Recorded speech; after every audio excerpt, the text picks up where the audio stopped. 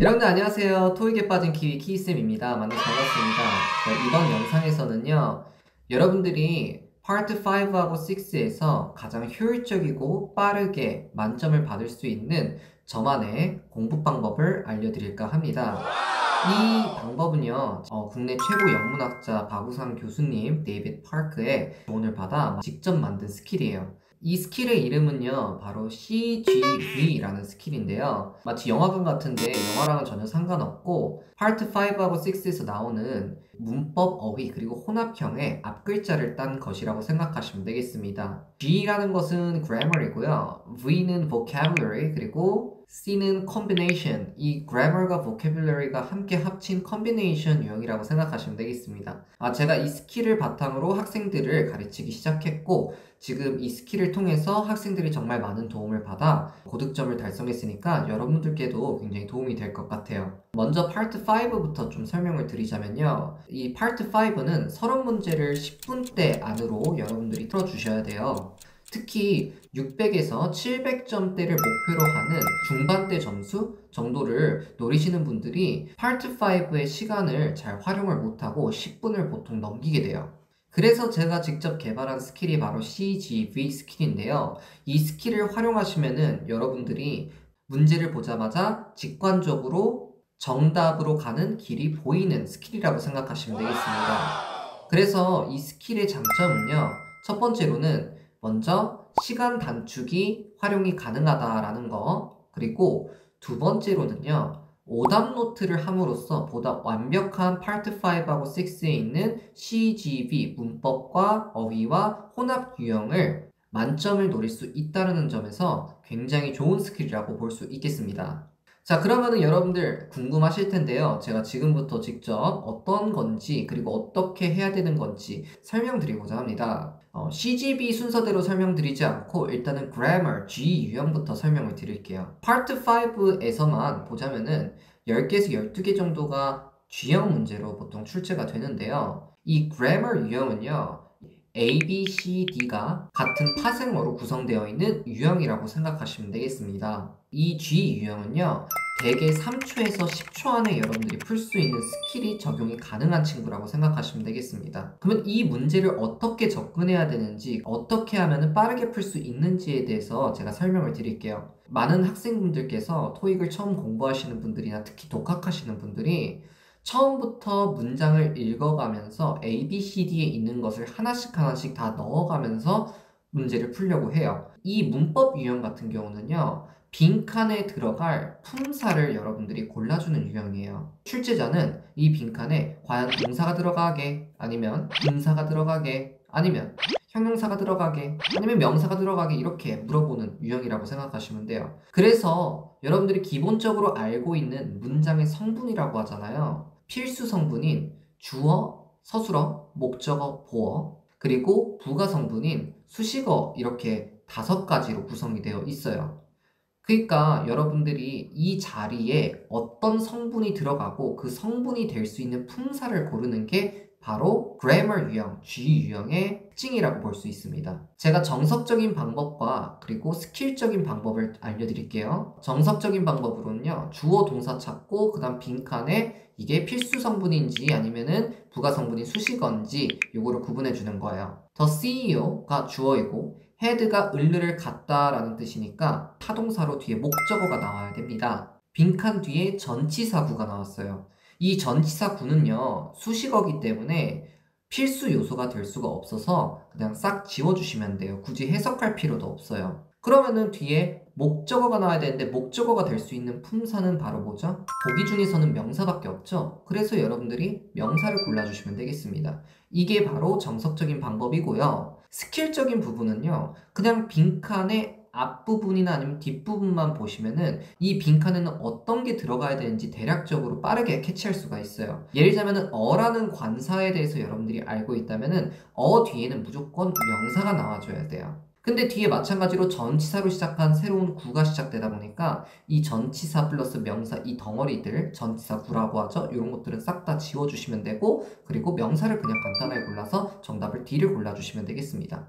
아, 시간을 단축시킬 수 있는 스킬로 여러분들이 어떤 부분을 활용할 수 있냐면 먼저 파트 1 시작하기 전에 파본 검사가 있잖아요. 이 파본 검사 한 1분 안으로 여러분들이 파트 5에 있는 grammar 유형만 먼저 눈도장을 찍어 놓고 그 다음에 LC가 끝나자마자 또는 파트 1을 풀 때 grammar 유형 3초에서 10초 안에 풀리는 유형을 빠르게 풀고 넘어가시는 걸 추천드리겠습니다. 자, 이번에는 V 유형에 대해서 vocabulary 유형에 대해서 설명을 드릴게요. V 유형 같은 경우는요. A, B, C, D가 기본적으로 같은 품사로 구성이 되어 있고 그리고 다른 단어로 구성되어 있는 유형을 생각하시면 되겠습니다. 어차피 같은 품사로 구성이 되어 있기 때문에 주어, 서술어, 목적어, 보어, 그리고 수식어 이렇게 구분할 이유가 없는 친구예요. 왜? 어차피 여기 빈칸에 들어갈 품사는 다 똑같거든요. 자, 그러면 이 문제는 어떻게 접근해야 되냐? 순수 해석 문제라고 생각하시면 되겠습니다. 빈칸을 제외한 문장도 해석을 해줘야 되고, 그리고 빈칸에 있는 보기 A, B, C, D의 단어들의 뜻도 다 알고 있어야 돼요. 짧게는 15초에서 30초까지도 걸릴 수 있는 유형이라고 생각하시면 되겠습니다. 자, 해석을 먼저 해보면 뭐, at the board meeting, 이사회 미팅에서 the resolution was adopted. 그 결의안이 채택이 되었다 라고 한 다음에 지금 뭐뭐하게 라는 다 부사가 들어가 있죠. unanimously 같은 경우는 만장일치로란 뜻이고요. extravagantly 같은 경우는 사치스럽게 란 뜻이고요. formally 같은 경우는 이전에 란 뜻이고 그리고 resentfully 같은 경우는 이거는 분개하여 라는 뜻입니다. A, B, C, D 중에서 가장 적절한 거 바로 나오셨나요? 정답 unanimously가 가장 적절하겠죠. 그렇기 때문에 어떻게 보면은 이 문장에 있는 어휘력과 그리고 A, B, C, D를 알고 있는 여러분들의 기초 어휘력을 테스트하는 게 바로 V 유형의 목적이라고 생각하시면 되겠습니다. V 유형 같은 경우는 고난이도 문제를 어려운 단어나 아니면 수거 문제로 낼 수 있는데 얘는 출제 비중이 그렇게 높지 않다라고 생각하시면 되겠습니다. 다음은 C 유형인데요. 이 C 유형은 기본적으로 grammar 유형과 어휘 유형을 섞어 놓은 거라고 생각하시면 될 것 같아요. 이 유형 같은 경우는 여러분들이 품사, 성분도 먼저 분석을 해줘야 되고 뜻까지도 알아야 되는 이런 혼합된 형식의 유형이라고 생각하시면 되겠습니다. 자, 먼저 A, B, C, D를 보시면은 얼핏 봐서는 V 유형, 다 A, B, C, D가 다른 단어여서 그냥 어휘 유형이라고 생각하실 수도 있어요. 그래서 대부분의 학생들이 이런 문제를 풀 때 해석부터 먼저 시작을 하고 A, B, C, D를 다 넣어가면서 풀게 됩니다. 이런 식으로 풀면은 시간은 시간대로 소비하고 실수를 할 수가 있습니다.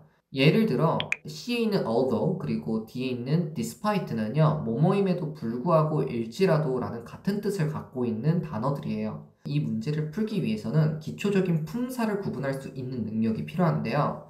A는 during 뭐뭐 동안이라는 전치사고요. when은 부사절 접속사, 또는 의문사 접속부사인데 여기서는 부사절 접속사만 출제한다고 보시면 되겠습니다. 그리고 C, although 같은 경우는 얘는 부사절 접속사예요. 그리고 D, despite는 전치사예요.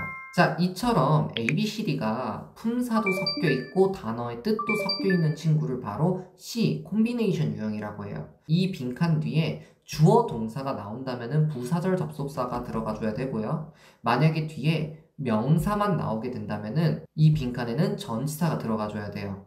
이 콤비네이션 유형은 CGB 순서대로 grammar 유형부터 먼저 봐주신 다음에 그 다음 해석을 해줘야 되는 친구예요. 자, 간단하게 말씀드리자면 지금 쉼표를 기준으로 주어 동사가 나오고 그리고 쉼표 뒤에 주어 동사가 나왔잖아요. 그러니까 이것은 문장과 문장을 이어주는 연결어가 나와줘야 돼요. 그러면은 전치사는 여기에서는 주어 동사, 주어 동사, 절과 절, 즉 문장과 문장을 이어줄 수 없는 친구기 때문에 전치사는 여기서 먼저 제거해 줘야 됩니다. 그리고 나서 접속사 두 개 중에서 어휘 유형처럼 해석을 적절하게 해주시면 되겠습니다.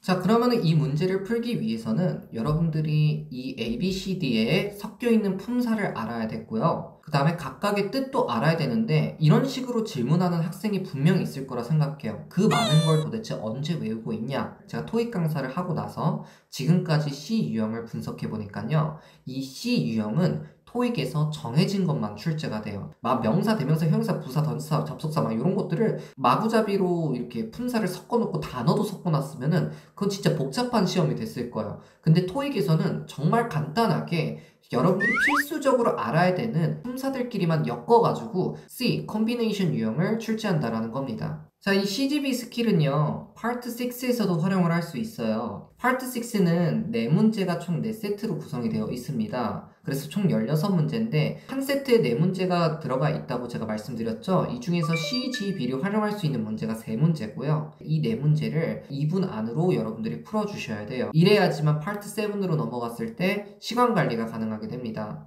그래서 어떻게 보면은 100문제 중에서 파트 5, 6 포함해서 CGV를 활용할 수 있는 문제가 42문제예요. 이 42문제를 어느 정도 여러분들이 시간 안에 해결할 수 있는 그런 스킬이 있어야지 반드시 고득점을 노릴 수 있거나 최소 700점, 800점대로 빠르게 올라갈 수 있거든요. 생각보다 많은 학생들이 같은 유형임에도 불구하고 내용의 구성이나 아니면 단어가 달라졌다 해서 다르게 풀어버리는 경향이 있습니다. 그런 학생들 같은 경우는 똑같은 유형을 계속 반복해서 틀리는 경우가 있기 때문에 CGV 오답노트 예시와 그리고 파트 6 오답노트 예시를 제가 댓글 링크에다가 올려드릴 테니까 그 PDF 보시면서 아 이렇게 하는구나 라고 생각하면서 한번 따라해 보셨으면 좋겠습니다. 정말 도움이 많이 되니까 여러분들 꼭 활용해 주셨으면 좋겠어요. 이 밖에 정말 다양한 스킬들이 많습니다. 기존 방식보다 좀 더 더 트렌디하고 여러분들께 도움이 될 수 있는 이런 방법들을 정말 연구를 제가 많이 했습니다. 토익을 단기간에 또는 만점을 받을 수 있는 고득점 스킬을 여러분들께 알려드리도록 하겠습니다. 자, 그럼 다음 영상에서 만나요. 안녕!